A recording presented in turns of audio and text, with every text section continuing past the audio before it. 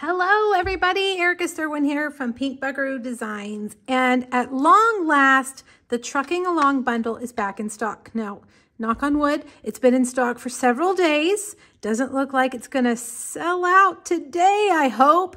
I hope by the time you watch this video, either you have ordered yours or you can still order it. This has been probably one of the most popular things Stampin' Up! has ever had. It sold out, came back in stock and sold out again. So if you want it, make sure you get it. It is the cutest bundle. We always love a punch, and I always love an old truck. So, of course, I love these.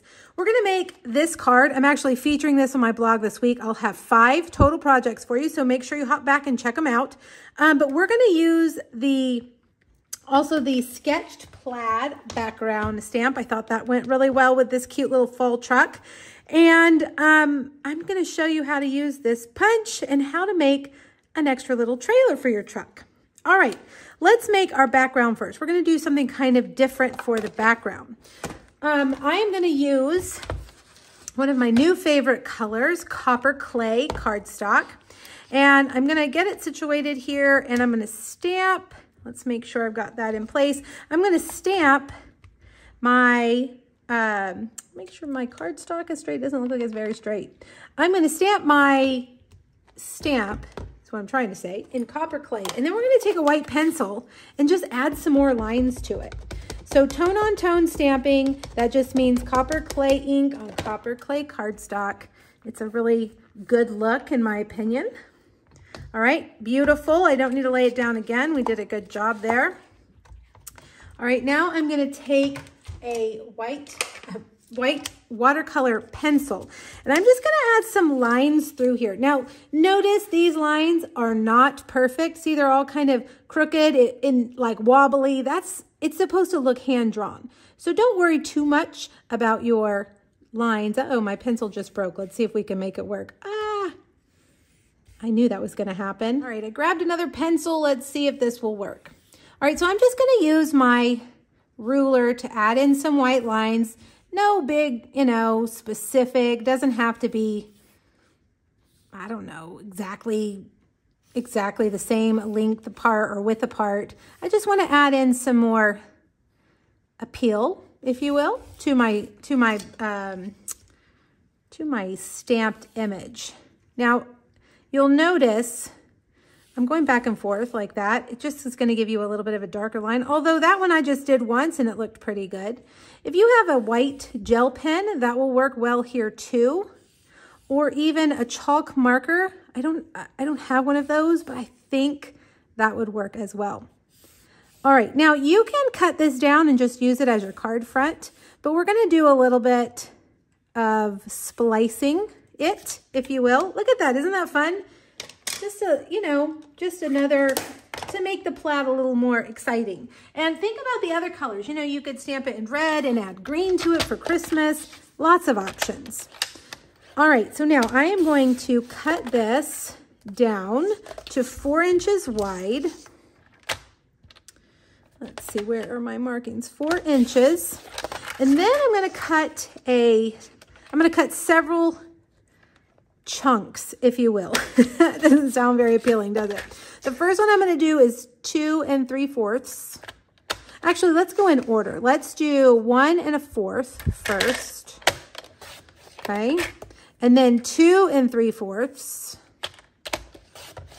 And then one and an eighth. Now, one and an eighth, if you're looking on your trimmer, it's the second line there. If you're looking at your Simply Scored, it's just the one, the first tick mark there passed. Let's see, can I do it this way? Will that be a little bit easier? You know, you have measurements over here. Can you guys even see? Am I out of the frame? Probably. Let's see. Is that one and an eighth? Let's measure it over here. Yep. Okay, so one and an eighth. So now I'm going to take my early espresso card base and we're going to put the one and an eighth at the top. All right, and our two and three fourths in the middle and our one and a fourth at the bottom. So we're just kind of leaving a little bit of early espresso peeking through um, each piece. Um, now I'm, you guys, I designed this card two months ago when this, when this, um, let's see, do I need to put it like that? I do. I want those lines to match up. Um, two months ago when this bundle came out and then it sold out. So I've been holding it to show you um, until it came back in stock. So I don't remember why I decided to do this to the to the plaid, but I think probably I was using a card sketch. Card sketches are great ways to vary your card designs. All right, there's our background. Now for what you really came for, right? The truck. Okay, if you have a stamp Stamparatus like I just used, you can use that to line your trucks up. But I'm gonna show you that you can also do it without lining them up as well, um, or without using the stamp Stamparatus as well. Um, sometimes it takes me a couple of tries to get it perfect, but you know, I think it's okay. All right, we're gonna stamp the outline. If I can get it inked up, right? Um, down here, across the bottom like that. And I'm gonna actually do it twice. Now let's look at our punch. Sometimes when you have a builder punch, you need to be cognizant of what's around it. This one doesn't have anything on the side, so I don't need to worry about the stamped image next to it. But if you have things stamped above, you might. So just keep that in mind. All right, now it's been two months, guys. Can I remember exactly what I did on this card? I don't know. Let's see. I can't tell. I think I stamped in full strength. So let's see. Um, this is Blueberry Bushel. Yep. All right. Blueberry Bushel is a pretty dark color. So you could stamp off if you wanted. Now I'm going to pull it down real close to me. So hopefully I can see it. And you just kind of want to look at the front and the back and the top and the bottom and see how you did. All right. Now that didn't stamp very well. Let's try, let's just play around. Let's stamp off and see what it looks like if we did it the lighter color. Mm, I think I like the darker color better. Let's try, let's try two layers and see what that looks like. Hmm, I don't know. All right, now we've played around. let's try something else. Let's try something else. Let's try stamping this one first. That might be easier. Sometimes I think one way and then I try it a different way and I'm pleasantly surprised. All right, I got to pull it down so that I can see. Hopefully you guys don't see my head sticking in here. Ooh, I think that is better. Yep, look at that. Perfection. Okay, so lesson, play around. Don't get frustrated if you do the first one and it's not perfect. Cardstock has two sides for a reason. So you can use both sides. Okay, all right. So what I learned is that I definitely do better if I stamp the solid first. Now, how about those tires? Um, now, they look like eyes, right? You might think it's like this because they look like eyebrows, but no, those are the tires. So put that down on the bottom and stamp and stamp. All right, lovely. Now, let's punch them both out. A little blue truck. This time of year in the fall, I like to see these old trucks with pumpkins in the back. But of course, I like to see everything with pumpkins. All right, now I have another video coming up that's gonna show you what to do with all these other pieces. So if you're interested in that, make sure you check my YouTube channel and my blog for more ideas. Okay, so now we're gonna make this a trailer, right? So all you have to do is cut it off right there. All right, so there, now you have a trailer. That's all you have to do. All right, so we have a tag. Let me get my tag, which is sitting under everything right here. And I'm gonna stamp these little accessories, but I need to know where to stamp them. So in order to do that, because I'm gonna put this here and I'm gonna pop it up. And if I stamp this like this, I'm afraid I might stamp on my truck. So grab a post-it note.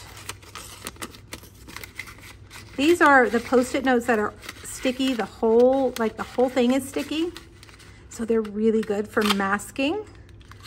So make a mask and put it where you think you're gonna want your truck right there. Okay, do we have enough room for the trailer? I think maybe he needs to go up a little bit. Let's see. well, it's stuck so good that my nails won't pick it up. There we go. Let's just move him up a tad. Just a tad. All right. Now I'm gonna take this little guide rail in the back. I don't know what this is called, but you know what I'm talking about, the little wood slats. I gotta pull it down again so I can see. We'll stamp that right there. All right. Now let's pull it up again and figure out where we think that trailer is gonna go, about right there. All right, so now I'm gonna stamp, I stamped that in pecan. This is going to be a memento these little plants, if you will. Now let's take our Stampin' Blends and color them in. There is a fill-in image for both of these, I believe, but they're so tiny and I love coloring with Stampin' Blends that I find it easier to do it this way. All right, so I'm just gonna take my light pecan pie and color in the little boards. I wish I knew the official name of these. Maybe you guys will tell me in the comments. All right, and then I'm gonna color in just one of these little pots. And I'm gonna go down a little bit further just in case my image in a little while is just a little bit higher. All right, I'm gonna do real red for this bucket right here. And then we'll do pumpkin pie. All of these are light, the light markers in the, in the blends combo pack. Right now I've got, um, this is Light Berry Burst. And you know, if you want to do spring, you could do just all green, but I kind of wanted some rusty kind of fall-ish colors. Now I'm gonna do Granny Apple Green, and then we'll bring back the pumpkin pie for these, for these leaves right here, which are flying around. I'm just gonna add some color in between them too. All right. Now there's one other thing and um, I shouldn't have torn this in half, I guess, if I wanted to see.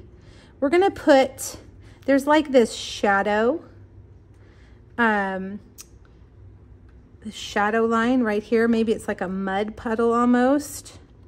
And we need to kind of see right where we want it. So I'm gonna put it right there under those tires. And I'm gonna mask a little bit more. Let's put a mask like this, where our little trailer would be. And we'll just do part of a little shadow like that. Oops, mine's a little bit high. All right, now let's get rid of our little mask, our truck mask. And that looks weird, doesn't it? That's all right, it'll make sense.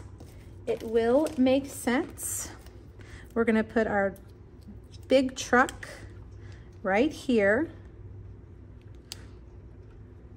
Let's get him a little bit higher so he's touching those boards.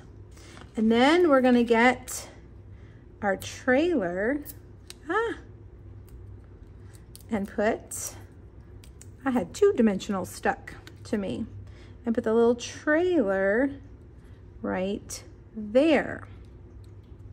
Now I'm just gonna take my basic black Stampin' Write marker and just draw like a little connection line like that to the, to the truck so that our trailer is in fact being pulled. All right, let's put it on our card.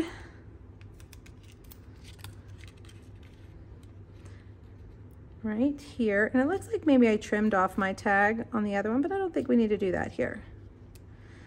All right, now I'm gonna put that right there for just a second. I have a stylish shape banner and we're gonna stamp special delivery on the right side. All right, let's get the trimmer, make it straight. We're gonna cut that off and make a little flag.